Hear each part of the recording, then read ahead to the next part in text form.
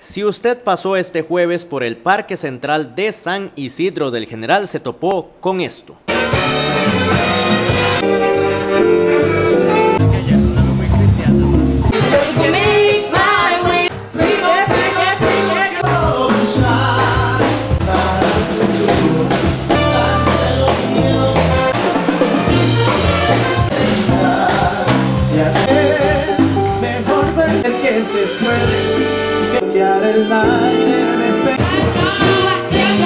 El coro de la Escuela de Música, los estudiantes del proyecto Teatro en el campus de la Escuela de Arte Escénico, la compañía de cámara Danza Una y la Una Danza Joven, ambas de la Escuela de Danza, junto a grupos artísticos y culturales de las distintas sedes y representantes de las comunidades, fueron los protagonistas de este encuentro donde la música, la danza, la actuación y el folclore le dieron vida y sentido a la autonomía universitaria. Hacer eh,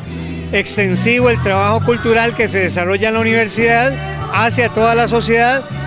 no solamente con actividades culturales, una gran cantidad de proyectos que tienen que ver con investigación, con extensión y por supuesto con eh, proyección comunal, cultural a las diferentes eh, comunidades en las cuales está presente la universidad y en este caso concreto el Cantón de Pérez Celedón, gracias por, contar gracias eh, a, esta iniciativa ya la creación de la universidad de 1973 de una sede regional. El Consejo Universitario de la UNA estuvo presente en esta actividad que llamó la atención de estudiantes y de las personas que pasaron por el parque y se quedaron para disfrutar del talento de los jóvenes en especial los generaleños de la Escuela de Música de Pérez Celedón. Estamos muy complacidos, muy contentos por venir en esta mañana a dar inicio a una serie de actos culturales y de música,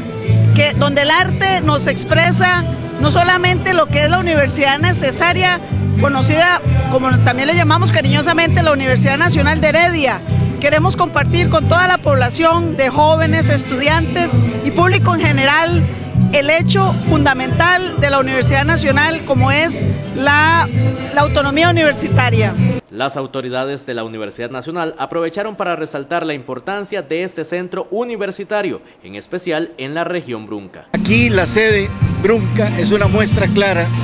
de que en esta región hay un recurso humano que merece oportunidades y que las oportunidades se las da la Universidad Nacional y las otras universidades públicas. Y este encuentro con la comunidad es para que no solo los universitarios, sino cada persona que habita en la región entienda que la autonomía es en beneficio de todos. Y es que el trabajo de todos para presentar el espectáculo que se vivió en el parque fue de alto nivel y fue aplaudido por la jerarca del Consejo Universitario de la UNA. Un reconocimiento muy especial a las autoridades, a los compañeros que han hecho un esfuerzo sobre, sobre tremendo de, para poder compartir y estar acá en esta celebración. Este jueves fue en Pérez Celedón, pero la fiesta para conmemorar la autonomía universitaria continúa en el sur. Este viernes es el turno del Cantón de Corredores. Campus Pérez Celedón con esta actividad y el día de mañana lo vamos a celebrar en Campus Coto, específicamente en el parque de, la, de Ciudad Neily y, y hay otras actividades proyectadas. La actividad en Ciudad Neily comienza a las 10 de la mañana.